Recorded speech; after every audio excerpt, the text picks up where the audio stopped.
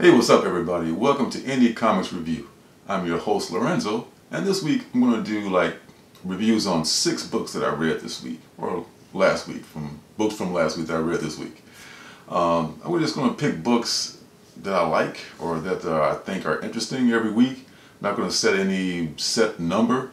Uh, this week it happened to be six, next week it might be five, four, who knows, but uh, I liked a lot of books this week, and I found a lot of them worth uh, worth talking about. So I'll get started right away, and you can uh, see if you agree with me. So first book is uh, Shadow Doctor.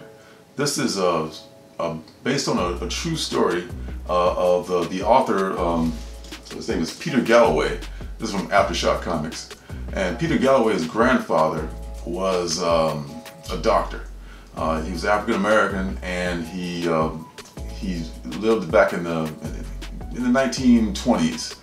Um, the, the, story starts when he was uh, as a kid, like a teenager. He's like driving um, uh, trucks and kind of running booths for a local gangster.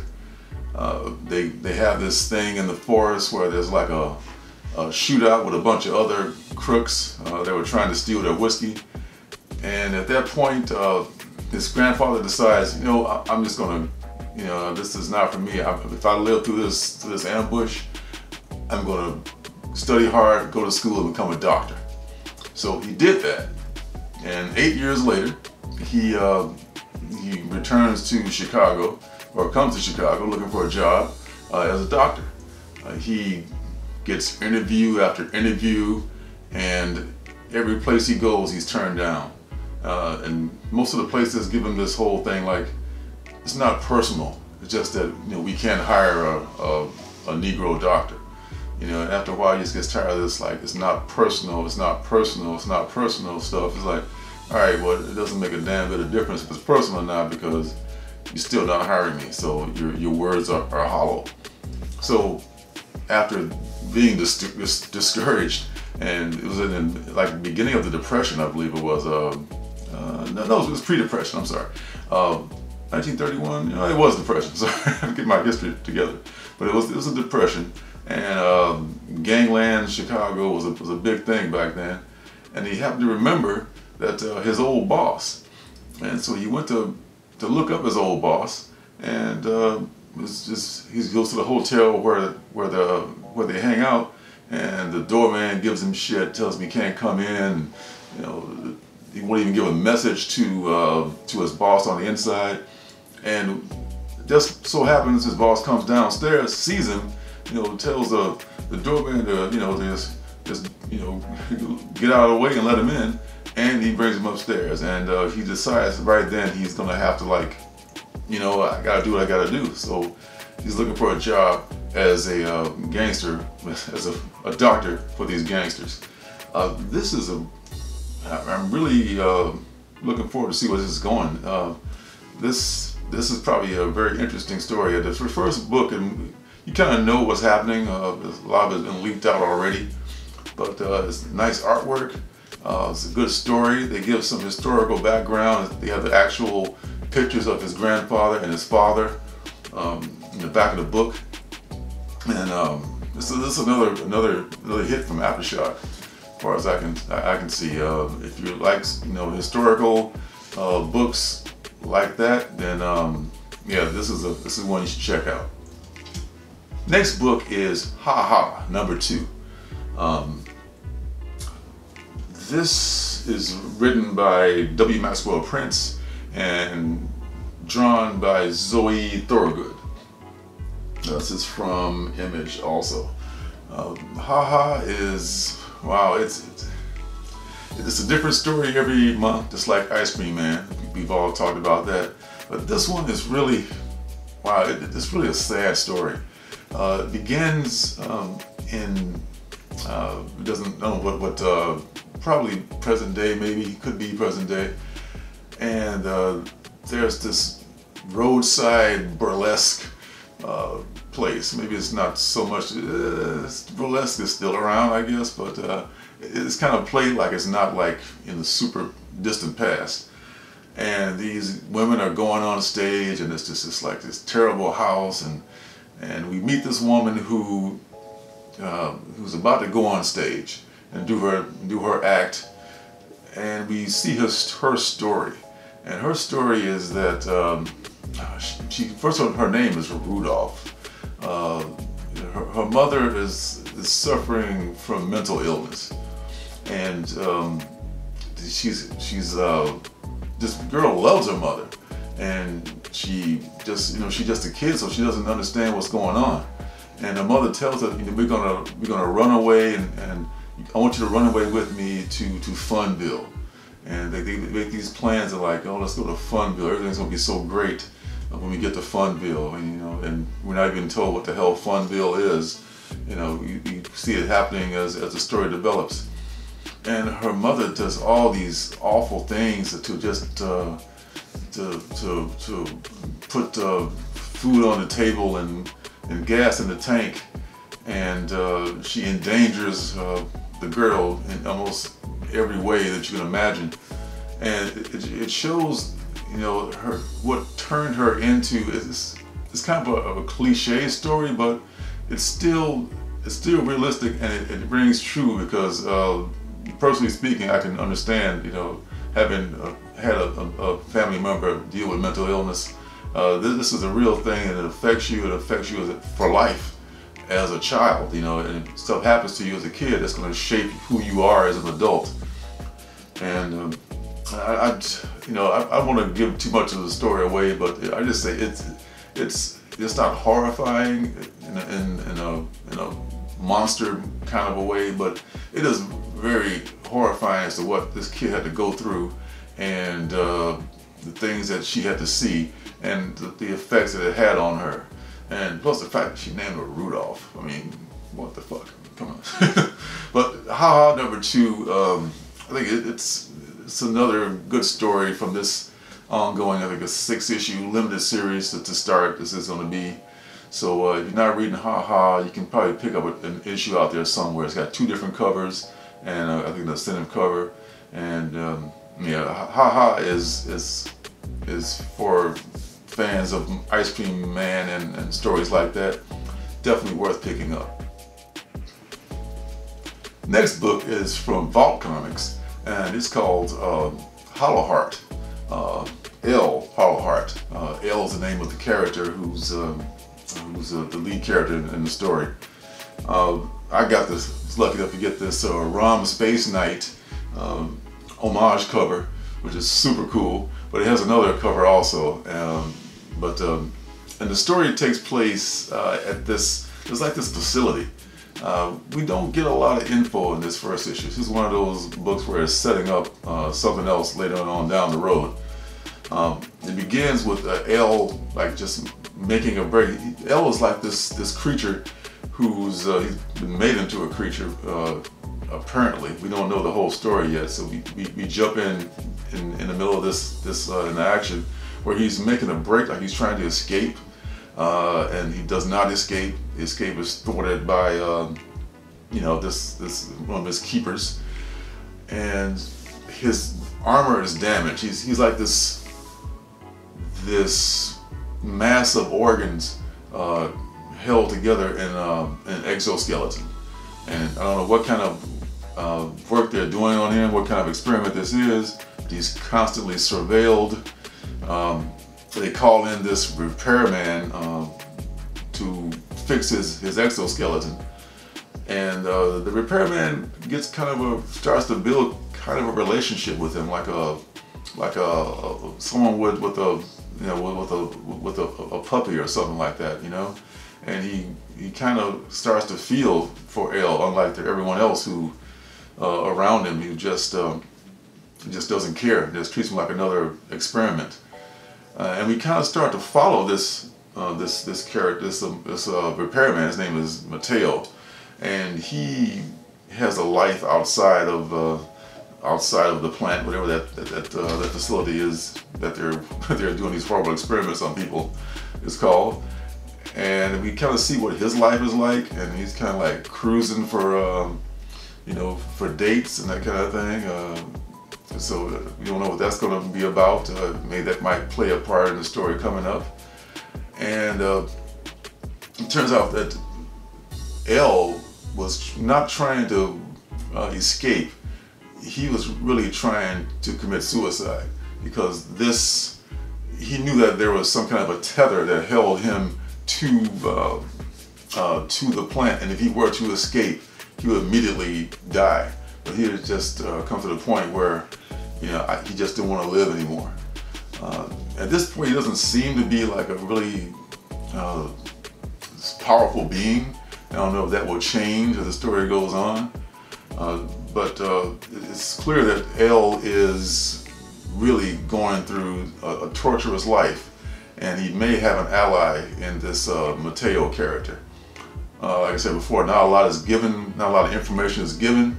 Uh, that might turn some people off if you don't. Uh, some people want to know everything about the story and the character in the first book. If that doesn't happen, then they're ready to drop it. But I'm going to give us another another issue. Um, you know, just just because I, I want to know what's going on as far as you know what the, the concept is. I'm getting an idea, but sometimes it's hard to convey a lot of things when you're dealing with a, a 20 page, 20 page or 24 page floppy comic. You, you got to set stuff up, and this is uh, setting stuff up for later. So I I will give another chance. I don't know if everyone else will, but uh, it's, it's um, there's a lot to be revealed yet and uh, I'll give it another chance just because of that that cool cover that I got. So, but that's just me. Next book is called Savage. Uh, this is from Valiant Comics, um, written by Max Bemis, uh, illustrated by Nathan Stockman. Um, this Savage is, uh, there may have been a, a Savage series before this that I'm not aware of. I just happened to see uh, this one. I thought it looked kind of interesting, even though it kind of like rehashes the, the Tarzan uh, concept over again. Uh, a younger, you know, hipper Tarzan. Uh, this this character is uh, his last name is uh, Kevin Savage, and they call him Savage online. And he's a he's an influencer. He's got a Twitter account. He, you know, people love him because he's like this, you know, this this badass who does whatever he wants. You know, he doesn't bathe. You know, and you know women love him anyway, and it's just like, and he's he's just kind of I don't know. He's just kind of I want to say repulsive, you know, but but to me it's just kind of like everything uh, that's uh, unpleasant about a lot of people. He just kind of uh, wallows in it and uh, seems kind of entitled, even for a uh, for a savage. Uh, and it seems like he's been enhanced somehow. But, you know, it doesn't say in this uh, first issue. Maybe in the original series, they may have talked about how uh, his powers are enhanced. He's not just uh, he seems to be jumping from building to building. So uh, not just being savage would be able to do that. Uh, just not just a you know a guy swinging from vines will be able to just jump from building to a building like like Spider-Man. And he's got like this crazy amount of strength and just like this scrawny kid, pretty much. He, he rips the tooth out of a, uh, rips out the tooth of a, some kind of a, a giant dinosaur and, and, and, stabs him to death with it. And it's just, and he has this uh, assistant, uh, he has a, a, personal assistant that does stuff for him and everything. And he's tired of the life as, a, as an influencer you know, it just seems like kind of an ingrate if you ask me. But you know, this is just this is just my opinion. Uh, he and then there's like some point we move on to that. I don't want to be an influencer anymore. I want to I want to fight dinosaurs again. And, and there, there's some there's some occurrences that happen that, that make that kind of come to, to light. And, you know, I I didn't really uh, enjoy this book to be honest. Um, it's just not my demographic, I guess. If you like, uh, you know, insolent, you know, teenagers, then, then uh, or if you are one, then maybe you can relate more to that. But uh, I personally didn't didn't like this book that much. I'll probably not be picking up a, a second issue of it. Uh, but it was nice to check it out to see what it was about. And actually, what I did find more interesting was uh, at the back there was like a four-page preview of Shadow Man um, Valiant's going to trot out their their old Shadow Man character again. It's been like I don't know how many three, three, four in, incarnations of Shadow Man. Uh, this one looks pretty well drawn, and might be um, it might be pretty good. So I'll probably give Shadow Man a chance when it comes out, but I will not be buying a second issue of Savage. Uh, the next book is not at all uh, an indie comic book, but it's um, it's a reprint. It's a facsimile edition of The Black Knight number one from 1954. It's an exact reprint. It's uh, with the ads and everything. Um, only a very few changes to the cover and the back, and no changes to the back cover. Uh, and there's a there's a actually there's a disclaimer in there because there's um there's some uh, definitely non uh, PC uh, uh, portrayals of Asians in the middle story called The Crusaders. Um, you know, it's, it's insensitive. You know, it's not terrible, but just like it's just like you know, it shows the the ignorance of the time. Uh, but other than that, this is a really great reproduction uh, with really great art. I think the guy's name is, um, what's this guy's name? Joe Maneely? I think Joe Maneely. And written by Stan Lee. And I tell you, this, this, this Stan really shines in, in, in, writing stuff like this. I know his wife once says that the man is a poet. You know, he considered himself, you know, this, this great writer. And he kind of, I guess, was, the irony was he, he was kind of forlorn about having to waste his his life as a as a comic book writer. We know it became at the end of his life as this huge legend, uh, bigger than life. But he, he really feels at home. I can tell he feels that he's at home um, writing this stuff. This the four suits and the, the widths and all that stuff. He, he's really in his element. It, it, makes a lot more sense uh, the Stan Lee style of writing than um, some of the stuff he wrote even for for Marvel. Uh, but this is about uh, it takes place in uh, Camelot in the time of King Arthur. And uh, there's uh, this uh, character named Sir Percy, and he shows up at at, uh, at Camelot uh, seeking um, sanctuary because he's lost his land to um, to interlopers and, and, that kind of thing. And he's he's portraying this this foppish stereotype of the you know, of the the, the alter the, the alter identity of uh, the superhero or of the of the hero. So, but once he gets along with Merlin, Merlin uh, tells him like, "Thank you for coming, Sir Percy, uh, for posing as this, you know, as this coward, uh, so that we need someone to fight for King Arthur because he doesn't trust uh, Mordred, Mordred and his wife Morgan Le Fay. Uh, so Merlin has devised this armor of the Black Knight, and he wants Sir Percy to be the Black Knight. Um, and and of course, Sir Percy becomes the Black Knight, and we get like we get three, uh, three stories in this book. We get three illustrated stories, and we get one uh, text sto text story uh, without illustrations. And this is just such a book for for for people like uh, I guess Gen Xers like me, I guess, or people who um, grew up with this kind of stuff. I mean, this is a little before my time even, but I remember reading books like this, and um, and there'll be like maybe three stories in a book, and you just like, oh my, this is a lot of stories. I mean, this is like just for in those days, ten cents, twelve cents, you know, in my in my time. So this is a, a really um, well drawn. Uh, book for, for people who, who remember a time like this, or if you're curious about a time like that. You know, it's a $3.99 book. Um, you can probably pick it up at some places. Maybe You may be able to order it online somewhere. But uh, yeah, if you uh, the whole Black Knight's coming back uh, in a modern form uh, with the King in Black. But if you're just curious about the origin of the character, this, this is a great pickup. So I, I, I would recommend this book. Last book is We Live. Now I've done a review of We Live already, um, and I and I, I do love it. Uh, but I just have to mention We Live, we Live again because Wow, this this is the fifth uh, book in the series. I I didn't I didn't realize when I picked it up that this was going to be the last one of uh, of this volume.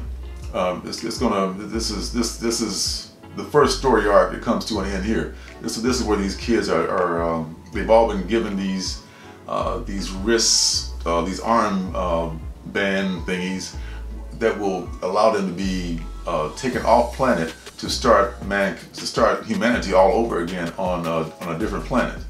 And this this wraps up that arc of the story and lets you know what's happening with that. Uh, there's a, there's a part where uh, uh, they're, right at zero hour where they got to be in the spaceship to take off, and uh, the stuff is going down, and there's catastrophes happening. There's like you can imagine an apocalypse. Uh, this is so well drawn. Is, the artwork in here is fantastic. The story is fantastic and, and it takes a, and I really can't say anything, but I did not see this coming. I, I did not know this is where this book was going to go. And um, uh, all I can say is that it's a complete curse. Someone in the, uh, I mentioned uh, I, I, in my haul video last week, you know, that I was I was looking forward to reading You, you Live, We Live, and someone said, uh, man, you're to be completely surprised, and they were so right. Um, man, I, I, I don't know what to say about this, but uh, I'm, I'm, I mean, I'm excited to see where it's to go when it picks up again. I think later on this year, it's to uh, number six will come out, or maybe it'll just restart again as another number one. But uh, We Live is a winner from Aftershock Comics, which kicks out some really good stuff. So check out We Live. Um, that's it for this Indie Comics review. Um, don't forget to hit the like button, hit the subscribe button, hit the notifications button so you know when I'm making another video. Um, I just want to say, uh, I just passed, we just recently passed 500 subscribers. Uh, I, I, appreciate every one of you subscribers, all, all, you folks out there who subscribe. That that's this is like a, a, a milestone, and I appreciate every one of you. So until next time, um, I'll see you guys in my next video. Hey, don't forget to subscribe and leave a thumbs up.